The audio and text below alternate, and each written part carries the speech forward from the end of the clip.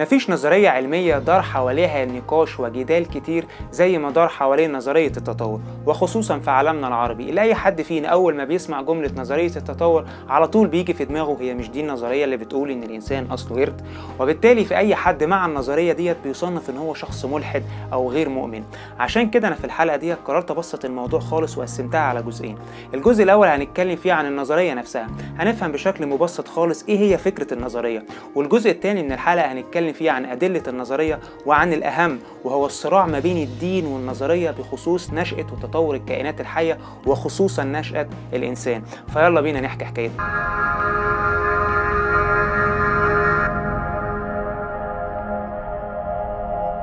حكاية نظرية التطور ببساطة شديدة إن البشرية قبل داروين كانت مقتنعة إن كل نوع من أنواع الكائنات الحية اتخلق لوحده، يعني ربنا خلق الإنسان لوحده، خلق الحيوان لوحده، خلق النبات لوحده وهكذا.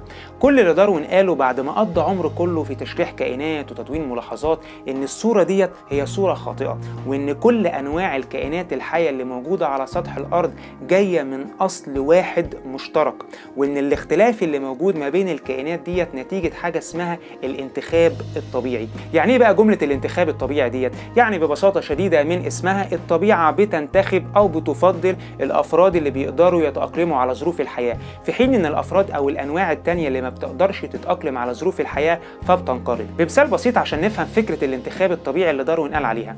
لو عندنا فرد الفرد دوت تكاثر وأنتج 50 فرد تانيين. وحصل إن فرد من ال 50 دول كان عنده صفة مختلفة تماما عن ال 49 الباقيين. الصفة ديت مكنت الفرد دوت إنه يطور مهارة مختلفة ويتفوق على أقرانه. وكمان الفرد دوت قدر يورث الصفة ديت في الأجيال اللي جاية من بعده. هنا بقى الطبيعة بتنتخب الشخص دوت هو وذريته وبتسمح له بالبقاء بشكل أسرع وأكتر من أقرانه. لو حصل بعد كده إن في صفة تانية اتولدت في أحد أفراد هذه الذرية الجديدة هنا بيبدأ تتراكم الصفات ورا بعضها. بنفس الطريقة عبر مرور الأجيال الكتيرة عبر ملايين السنين بتبدأ الصفة ورا التانية ورا التالتة بتتراكم لحد ما بينتج نوع جديد مختلف تماما عن النوع الأصلي اللي كان منه الفرد دوت.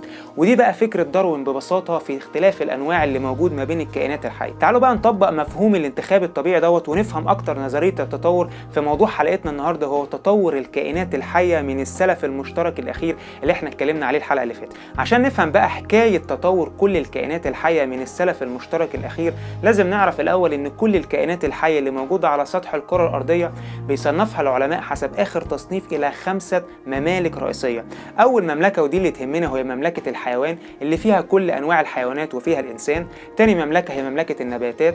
تالت واحدة الفطريات. رابع واحدة الطرائعيات. والخامسة هي البدائيات. ملناش دعوة بآخر أربع ممالك وخلينا في المملكة اللي تهمنا وهي مملكة الحيوان.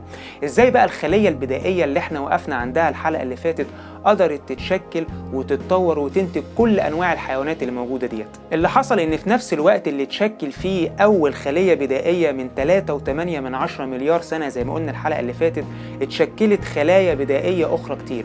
وطبعا زي ما قلنا على حسب قانون الانتخاب الطبيعي فالطبيعة بتنتخب الخلايا التي تستطيع أن تتأقلم مع الظروف في حين إن باقي الخلايا اللي ما قدرتش تتأقلم على الظروف المحيطة انقرضت.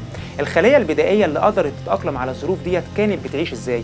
كانت بتتغذى على العناصر الكيميائية البسيطة اللي موجودة في حياتها. فضلت الخلايا تتطور لحد من 3 مليار سنة أحد هذه الخلايا اتطور بداخلها جزيء معين عنده قدرة مميزة وخاصة وهي انه هو بيقدر يمتص أشعة الشمس ويحولها لطاقة ولغذاء.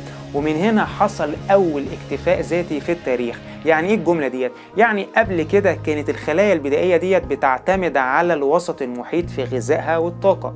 الخلية ديت قدرت تكتفي بنفسها يعني بتكتفي بضوء الشمس اللي جاي لها من غير ما تحتاج الوسط اللي حواليها. ومن هنا بداية انفصال مملكة الحيوان عن مملكة النباتات. يعني الخلايا اللي قدرت تستخدم ضوء الشمس وتعمل عمليات بناء ضوئي دي كانت بداية خلايا النباتات اللي اتطور منها كل أنواع النباتات. في نفس الوقت دوت كانت الخلايا التانية اللي ما قدرتش تطور الجزيء اللي بيستخدم ضوء الشمس دوت فضلت زي ما هي تعتمد على البيئة المحيطة في غذائها والحصول على الطاقة. وكانت برضه بتعتمد على الخلايا النباتية في غذائها. الخلايا الحيوانية ديت بدأت تتطور مع مرور الوقت لحد من 2 مليار سنة على حسب اعتقاد العلماء بدأت تبقى خلية متكاملة بيسميها العلماء حقيقيات النواة. يعني خلية متكاملة عندها نواة حقيقية محاطة بغشاء. بدأت بعد كده الخلية الحيوانية ديت تتطور وتتعقد أكتر لحد ما بدأت تكون أول كائن حي متعدد الخلايا. ودي كانت معضلة كبيرة بالنسبة للعلماء إزاي الكائن الحي اللي مكون من خلية واحدة دوت قدر يتطور ويبقى كائن حي مكون من عدة خلايا. لحد من سنة 2016 العلماء اكتشفوا جين معين موجود في الكائن وحيد الخلية اللي هو مكون من خلية واحدة بيمكنه أو بيخليه يقدر يبقى كائن متعدد الخلايا. وهسيب الرابط بتاعه في المصادر اللي حابب يرجع له. طيب نرجع بقى للكائن متعدد الخلايا اللي هو اتكون من حوالي مليار سنة دوت.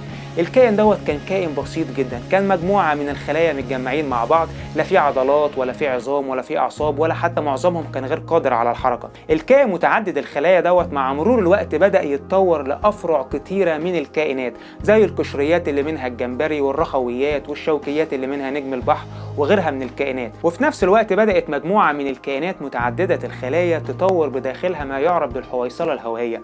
وديت عبارة عن بالونة بتنتفخ بالغازات بتستخدمها الكائنات كنوع من التأقلم عشان تقدر تعوم في المياه. وفي نفس الوقت بطول جسمها اتكون حبل متين اللي هو بداية ظهور الهياكل العظمية. وبكده مملكة الحيوان عند النقطة ديت بدأت تتقسم إلى فقاريات ولا فقاريات وكانت بداية ظهور الأسماك اللي بدأ يتطور منها كل أنواع الأسماك. أحد هذه الأنواع المتطورة قدرت تطور بداخلها رئة صغيرة علشان تقدر تتنفس في الطين في فصول الجفاف. ومن هذه الأنواع بدأت تظهر البرمائيات وهي نوع من أنواع الكائنات الحية زي الضفادع اللي بتقدر تعيش في المية وبتقدر تعيش على اليابسة. أنواع من البرمائيات اللي قدرت تعيش على اليابسة بدأت تتطور أعقد وأعقد ونتج عنها الزواحف زي الثعابين والتماسيح وغيرها من الكائنات اللي بتستطيع فقط أن تعيش على اليابسة. من الزواحف ديت بدأ يحصل تعقد وتطور ونشأ عنها الطيور والثدييات. إزاي ده حصل؟ بالنسبة للطيور أحد الزواحف حصل طفرة معينة في الساقين الأماميتين له وبدأ يتحولوا إلى جناحين بيستخدمهم في الطيران. علشان كده حتى بنلاقي صغار الطيور في آخر الجناحين بتاعهم في زي مخلب وده دليل إن الجناحين في يوم من الأيام كانوا ساقين. وبرضه صغار الدجاج لما بيجي يمشوا في بداية حياتهم بيستخدموا الجناحين بتوعهم لأنهم في فترة من الفترات كانوا عبارة عن ساقين. طيب بالنسبة للثدييات الزواحف ديت أحد الأنواع منهم بدأ يتطور ويتعقد ومن هنا بدأت أنواع الثدييات تتطور اللي في الآخر خالص وصلت إلى تكون أو ظهور الإنسان زي ما هنعرف الحلقة الجاية. ودي كانت ملخص بسيط لإزاي الكائنات الحية قدرت تتطور من خلية واحدة لتنتج كل أنواع وأشكال الكائنات الحية اللي موجودة على سطح الكرة الأرضية.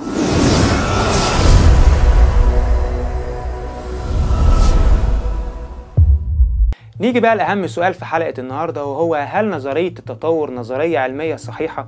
وهل فعلا في أدلة موجودة على إن الحكاية اللي لسه حكيناها من تطور كل أنواع الكائنات الحية من أصل واحد مشترك هي فعلا حكاية مظبوطة؟ مبدئيا معظم علماء الأحياء متفقين دلوقتي إن نظرية التطور نظرية علمية صحيحة وفي المصادر هسيب رابط للي حابب يطلع على المعلومة ديت. طيب ليه العلماء مقتنعين بالنظرية ديت؟ لأن ببساطة كل العلوم وكل الأدلة بتشير إلى إنها نظرية علمية صحيحة صحيحة. زي بالظبط كده الصورة البازل اللي مكونة من قطع. كل ما نحط قطعة كل ما الصورة توضح أكتر وأكتر وأكتر لحد ما الصورة بتبدأ تكتمل في الآخر. نفس الكلام في نظرية التطور. من حوالي 200 سنة من أول ما داروين قال على نظرية التطور وكل وقت بيعدي كل ما بتظهر أدلة جديدة بتوضح إن هي فعلا نظرية صحيحة. طيب زي إيه الأدلة ديت؟ نبدأ بعلم الجيولوجيا اللي هو علم دراسة طبقات الأرض. إزاي العلم دوت بيدعم نظرية التطور؟ إحنا عندنا علماء الجيولوجيا بيقسموا القشرة الأرضية إلى طبقات من الأقدم فالأحدث. هنا الحفريات أو الهياكل العظمية اللي بيلاقوها في الطبقات الأقدم بتكون دايما لأنواع أقدم في السجل الأحفوري عن الهياكل العظمية والأحفوريات اللي بيلاقوها في الطبقات الأحدث. يعني إيه القصة ديت؟ يعني لما بنيجي مثلا نلاقي هياكل عظمية لإنسان أو لثدييات فدايما بنلاقيها في الطبقات الأحدث لأنها آخر الأنواع تطورا. في حين إن باقي الأنواع اللي جات قبل الإنسان وقبل الثدييات بنلاقيها في جميع الطبقات. طيب إيه تاني من العلوم بيدعم نظرية التطور؟ علم زي البيولوجيا الكيميائية برضو بيدعم نظرية التطور. إزاي الكلام دوت؟ العلماء بتوع الأحياء لما بيجي يدرسوا الكائنات الحية بيلاقوا مثلا إن كل أنواع الكائنات الحية بتستخدم نفس ال 20 حمض أميني في إنتاج البروتينات. كل أنواع الكائنات الحية ليها نفس نظام الحمض النووي اللي هو الدي إن إيه أو الآر إن إيه. ده مش كده وبس ده كل ما بيكون في أنواع متقاربة من بعض كل ما بيكون ال DNA بتاعهم قريب من بعض. علم تاني بيساعد نظرية التطور هو علم المورفولوجي وده يعتبر من أقوى العلوم اللي بتؤيد نظرية التطور. ليه؟ لأن في بداية نظرية التطور كان بيوجه إليها انتقاد قوي جدا بخصوص الحلقات الانتقالية. يعني نظرية التطور بتنص على إن الزواحف تطور عنها الطيور إن الأسماك تطور عنها البرمائيات. طبعا إحنا قلنا إن التطور دوت بياخد ملايين السنين وبيكون عبر أجيال مختلفة وعبر كائنات مختلفة كتير. فين بقى الحلقات الانتقالية أو الكائنات الانتقالية ما بين الأنواع ديت؟ يعني فين الكائن الانتقالي ما بين الزواحف والطيور؟ اللي هو عنده صفات من الزواحف وعنده صفات من الطيور. الحقيقة إن خلال ال 200 سنة اللي فاتوا اكتشفنا العديد من الحلقات الانتقالية زي ال Archaeopteryx وال Tiktaalik وغيرها. هنا علم المورفولوجي لما بيجي يدرس الكائنات ديت بيلاقي فعلا إن هي عندها صفات مشتركة ما بين الأنواع اللي إحنا قلنا عليها.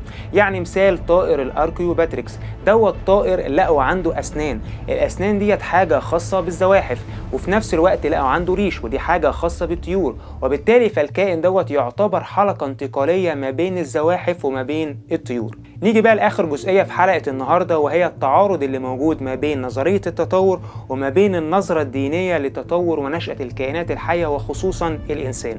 الحقيقة إن التعارض دوت جاي نتيجة الصورة الذهنية الخاطئة المتكونة عندنا عن نظرية التطور. زي ما قلنا في أول حلقة إن كل اللي نعرفه عن نظرية التطور إن هي بتقول إن الإنسان أصله قرد وبالتالي بنرفضها على طول. يعني اختزلنا كل العلوم وكل الأدلة وكل الشواهد في الجملة ديت من غير أي منهجية خالص لأن أي دارس للعلوم لو بص ببساطة شديدة على الأدلة اللي موجودة وفهم النظرية كويس جدا زي ما شرحناها من شوية هيلاقي فعلا إن النظرية بتقدم إجابة عن كيفية تطور الكائنات الحية. وعلشان كده بنلاقي علماء كتير جدا مؤمنين بنظرية التطور ومؤمنين بوجود إله للكون. ليه؟ لأن زي ما قلنا الحلقة اللي فاتت إن في فرق ما بين العلم والدين. العلم دايما بيجاوب عن كيفية حدوث الفعل. يعني نظرية التطور بتقدم إجابة عن كيفية نشوء وتطور الكائنات الحية. أما ليه ده بقى حصل؟ فدي على حسب معتقد كل واحد. يعني الشخص المؤمن بوجود إله شايف إن التطور اللي حصل دوت سببه عقل مدبر للكون. هو اللي سمح إن تحصل الطفرات ديت أو سمح إن تحصل التطورات ديت بالشكل دوت. في حين إن الشخص الملحد اللي هو مش مؤمن بوجود إله شايف إن كل اللي حصل دوت حصل بالصدفة بشكل عشوائي. العلم زي نظرية التطور بيقول لك إزاي ده حصل. أما ليه دي بقى؟ فعلى حسب كل واحد. ودي نقطة مهمة جدا إن إحنا لازم نفرق ما بين العلم والدين. الحلقة الجاية هنتكلم عن نشأة وتطور الجنس البشري وبداية ظهور الإنسان. وهنعرف بقى إيه حكاية الإنسان أصله قرد ديت وهل فعلا نظرية التطور بتقول إن الإنسان أصله قرد ولا لأ. ده بقى اللي هنعرفه الحلقة الجاية.